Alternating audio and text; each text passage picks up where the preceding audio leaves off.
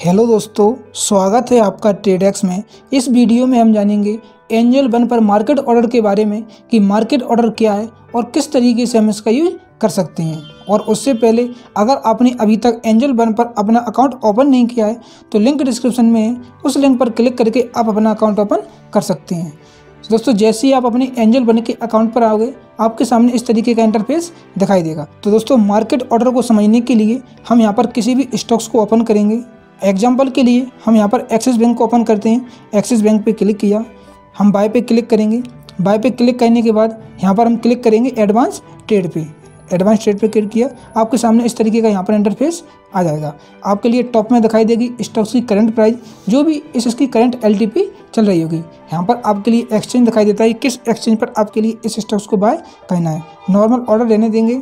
यहाँ पर डालनी होती है हमारे लिए क्वांटिटी कि हमारे लिए इस स्टॉक्स की कितनी क्वांटिटी बाय करनी है। अब आप यहाँ पर देखोगे, हमने सेलेक्ट कर रखा है लिमिट को। तो हमने यहाँ पर लिमिट को सिलेक्ट किया तो हम यहाँ पर प्राइस का ऑप्शन यहाँ पर हमारे लिए शो हो रहा है। हम यहाँ पर प्राइस डाल सकते हैं, किस प्राइस पर हमारे लिए स्टॉक्स को बाय करना है। अब लिमिट ऑर्डर को किस तरीके से हम यूज़ करते हैं, उसके ऊपर एक वीडियो बनी है। उसका लिंक आपको आई बटन में मिल जाएगा तो आप उस पर क्लिक करके चेक कर सकते हैं कि हम लिमिट ऑर्डर को किस तरीके से यूज़ कर सकते हैं। अभी हम मार्केट ऑर्डर के बारे में समझ रहे हैं तो हम जैसे ही मार्केट पर क्लिक करेंगे तो अब आप यहाँ पर देखोगे कि जो प्राइस का ऑप्शन है, हमारा यहाँ पर हाइड हो गया। अब मार्केट में नहीं जो इसकी करंट प्राइस चल रही है, आप यहाँ पर देखोगे छः सौ बयालीस पॉइंट अस्सी पैसे। इसी प्राइस पर अगर हमारे लिए स्टॉक्स को बाय करना है तो हम मार्केट सेलेक्ट करते हैं, और अगर हमारे लिए अपनी प्राइस पर स्टॉक्स को बाय करना है तो हमको लिमिट सेलेक्ट करते हैं।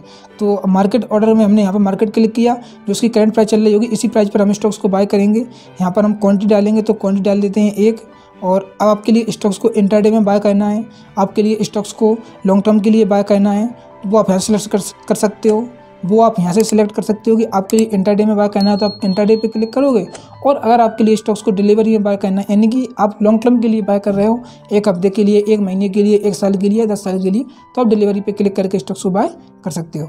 आप वैलिडिटी में आप डे रहने सकते हो कि आप जो ऑर्डर प्लेस करोगे वो आपको पूरे दिन पेंडिंग में रहेगा या आपका आई पे क्लिक करोगे तो आपका इमीडिएटली जो ऑर्डर है वो एग्जीक्यूट हो जाएगा। लेकिन यहाँ पर हम मार्केट प्राइस पर ही बाय कर रहे हैं तो यहाँ पर डे और आई का कोई मतलब नहीं रह जाता। क्योंकि मार्केट सेलेक्ट कर रखा तो इमीडिएटली हमारा ऑर्डर यहाँ पर एग्जीक्यूट हो जाएगा। यहाँ से हम अवेलेबल चार्जेस भी दे सकते हैं। हम इस पर क्लिक करेंगे अवेलेबल चार्जेस पे। तो जब हम इंटर डे में स्टॉक्स को बाय करते हैं तो कितने टैक्सेस में चार्ज हमारे लिए यहाँ पर पे करने पड़ रहे हैं, वो आप यहाँ से देख सकते हो। कितने रुपए हमारे लिए यहाँ पर देने पड़ रहे हैं।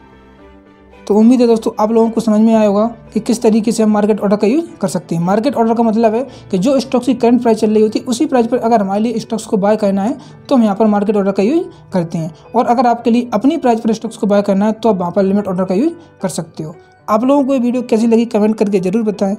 और इसी तरह की वीडियो देखने के लिए आप हमारे चैनल को सब्सक्राइब कर सकते हो। धन्यवाद।